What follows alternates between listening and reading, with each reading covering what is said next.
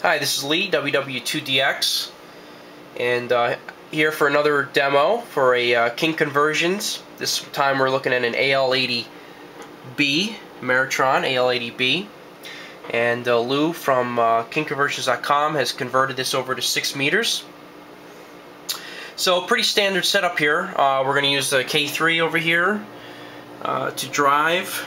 We got the um, Power Master Array Solutions Power Master meter and then we're going to the amp and then to this Bird kilowatt uh, dummy load over here. Okay, so basically uh, the tube it's a it's an AL80B. It's got a single 3-500. Uh, the amp is rated at 800 watts CW and 1000 watts on sideband. And uh, on this um, this demo, we're going to show we're going to obtain those numbers on 6 meters, essentially. So we're going to do this demo right here. So, we got the K3 set up at 50 watts. 50 watts coming out of the K3.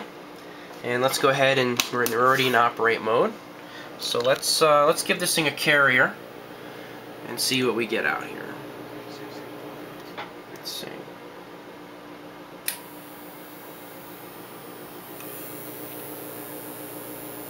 Okay, so 1100 watts carrier, 1.2 to 1, nothing going through, good. So let's do a little CW here. Let's see.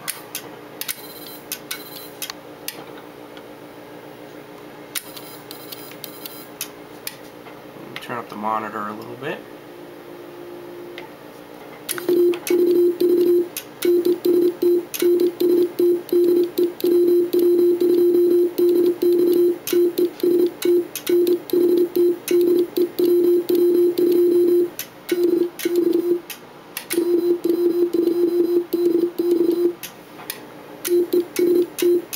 Okay, so there's some CW. Let's give it a try on sideband here.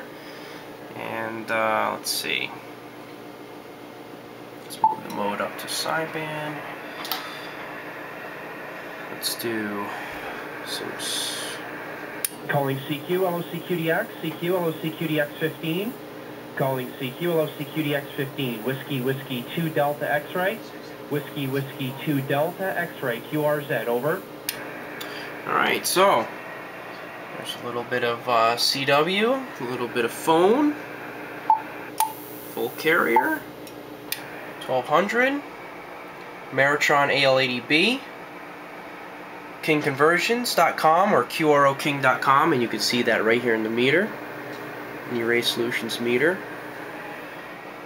I'm Lee, WW2DX. You can check out my website, WW2DX.com, for uh, more videos of uh, conversions and uh, there'll be many more coming down the pike. 73.